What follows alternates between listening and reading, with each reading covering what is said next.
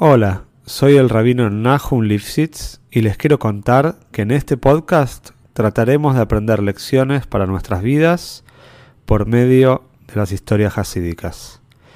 Sabemos que uno de los pilares en nuestro servicio a Shem es trabajar con nuestras cualidades y nuestra naturaleza. Los invito a este viaje maravilloso por el alma humana.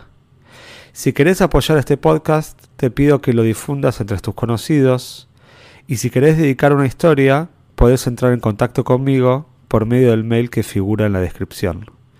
Te deseo que disfrutes la historia y puedas encontrar una gran enseñanza. Esta historia es para Broje y Atzloje de la Hayalot de Tzivis Hashem, Suri y Mushki Misraki. La historia que vamos a contar hoy está extraída de la famosa revista Neshei Chabad Newsletter, es una revista en inglés que ya tiene muchos, muchos años de publicación y que cuenta muchas historias eh, de más interesantes. Se cuenta ahí, había una mujer que escribe esta historia muy emocionante, se llama Marcia Schwartz, y ella cuenta que lamentablemente perdió la visión en algún momento de su vida pero que ya de chica solía preguntar en su casa a los invitados que venían, a los familiares, si alguno sabía dónde estaba Shem, dónde estaba Dios. Siempre ella preguntaba a los familiares si conocen a Shem, dónde lo pueden encontrar, pero los familiares de ella y todas las personas allegadas a los padres de Marcia eran personas ateas, no eran personas creyentes y siempre le decían a Marcia que ellos son Yehudim, son judíos y no creen en Hashem. Tal era el desconocimiento de esta joven que terminó pensando que los Yehudim no creen en Hashem. Y así fue que se dirigió a la iglesia local para empezar a conectarse con Hashem de otra manera, ya que pensaba que el judaísmo no tenía nada que ver. Y así fue que de a poquito empezó a adentrarse en la religión católica, empezó a ir a la iglesia, inclusive terminó también enseñando en una escuela de, de que dependía de la iglesia. Y así fue que realmente construyó toda su vida alrededor de una cultura que no era la de ella. Interesante que ella también cuenta que cada año, cuando llegaba a la fiesta más importante, eh, más conocida, la fiesta de Navidad, ella no lo podía festejar. Sentía que la Navidad no le tocaba a ella, sentía que no era una fiesta que le interesaba. Lo mismo también le pasaba con las Pascuas, por supuesto no pesas, no las Pascuas judías, sino las Pascuas católicas también, ella sentía que no, que no era algo que su alma, algo que su espíritu se veía atraído.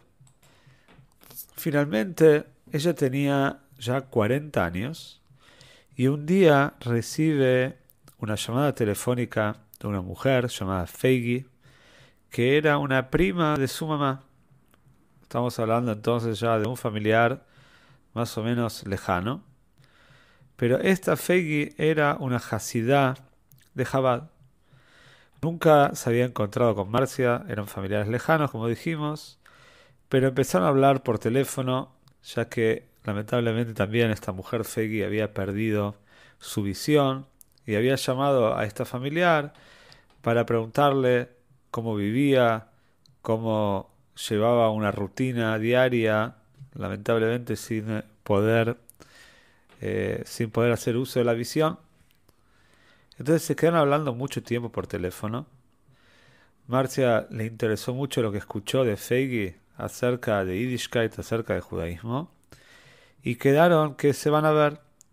Así fue que se encontraron, charlaron como siete horas hablando de judaísmo, y la impresión que le quedó un poco a Marcia es que su prima era una mujer muy buena, pero que la cultura que adoptaba para su vida era un tanto extraña.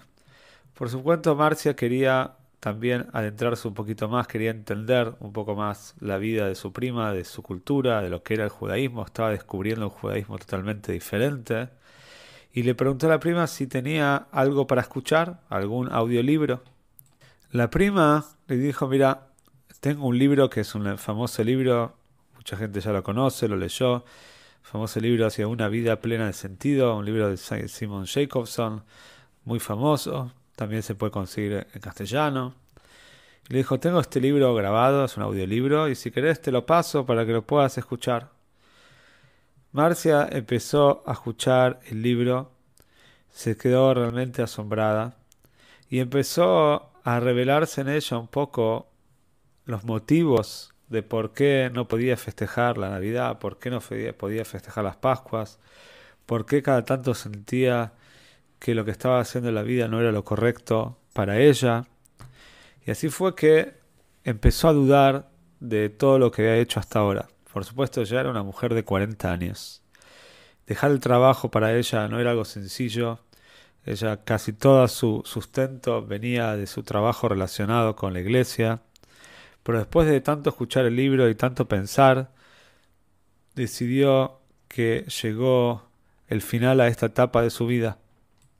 Finalmente abandonó su trabajo en la iglesia, dejó ella la misma de la iglesia sin antes, no sin antes, también ella conocía a otros Yehudim que iban también y les dio un libro a cada uno de hacia una vida plena de sentido.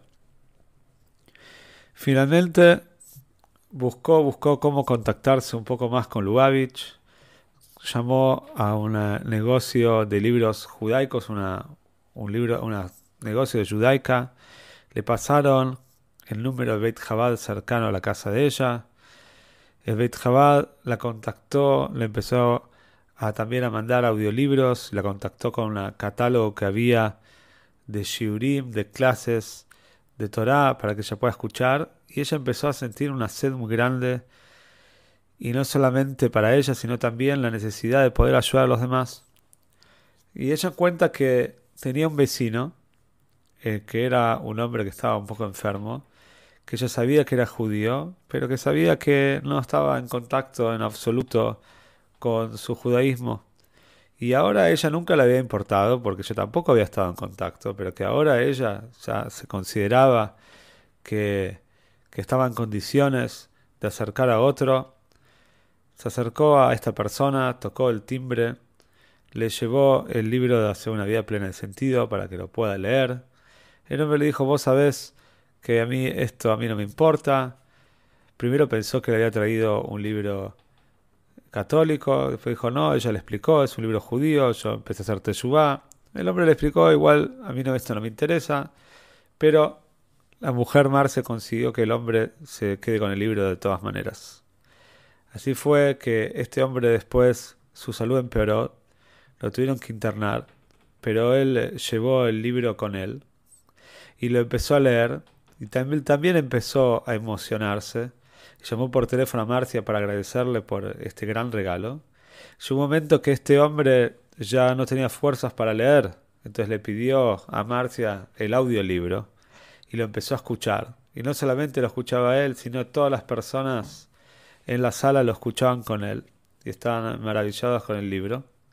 Y así fue que este hombre entregó su neshome, entregó su alma al Creador, también en el último tiempo con un proceso de teshuvah interno.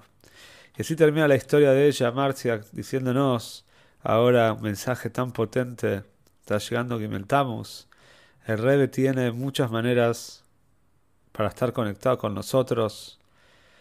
No necesariamente la barrera física, el no poder verlo físicamente, quiere decir que que no está conectado con nosotros, que es, que es una barrera real. Esto no es así. Sigue estando con nosotros, nos sigue cuidando, nos sigue escuchando, nos sigue ayudando y depende de nosotros qué es lo que podemos hacer para conectarnos con Él y poder seguir difundiendo sus enseñanzas y por supuesto provocar la llegada de Moshiach pronto.